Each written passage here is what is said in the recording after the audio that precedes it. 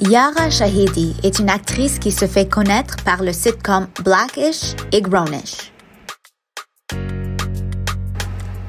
Elle est aussi une activiste qui a utilisé sa plateforme sociale pour plaider en faveur du changement social.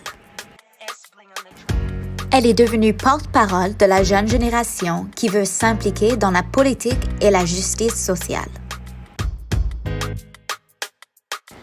Elle est également militante pour le féminisme et la sensibilisation au STEM. Elle a créé Yara's Club, qui propose un mentorat en ligne dans le but de mettre fin à la pauvreté par l'éducation.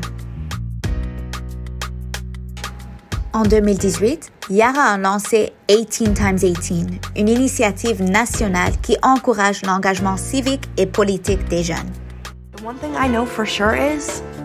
We are all leaders in every form that we assume. To be a black girl,